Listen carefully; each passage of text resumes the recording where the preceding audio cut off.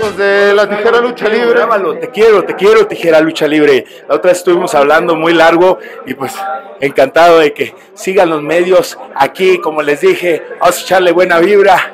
Ya vieron, buenos madrazos, los madrazos son allá. No atrás del celular, atrás del celular nadie se hace daño físicamente, papi. Atrás del celular son puro fantoche. Aquí, aquí están los madrazos y pues, deja la mano, cabrón. Y ya se me fue. Así. Los madrazos son aquí arriba, ya lo vieron con él, un gustazo. Pues, ¿qué más te puedo decir? Que en la arena mesa, sin payaso, y sin la tijera, y sin alcohol, y sin ahijado, y sin toda la banda, no hay fiesta, papá. Se- Para todos los estúpidos que dicen que ando loco, no ando loco, al contrario, me pone loco en la arena mesa, papá. Paganos se disfrutan este tipo de encuentros en contra de gente como, como Elia Park, ¿no?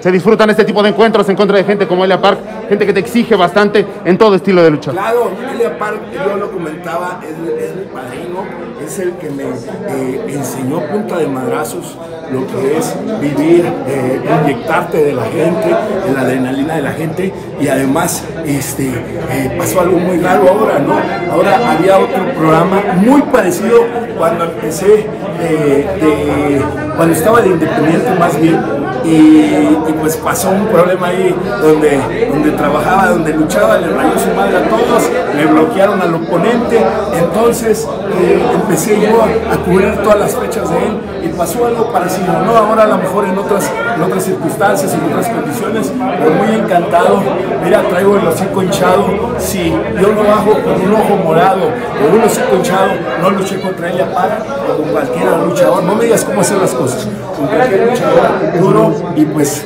este, muy encantado, ¿no? Perfecto. Pagano, pues agradecerte como siempre.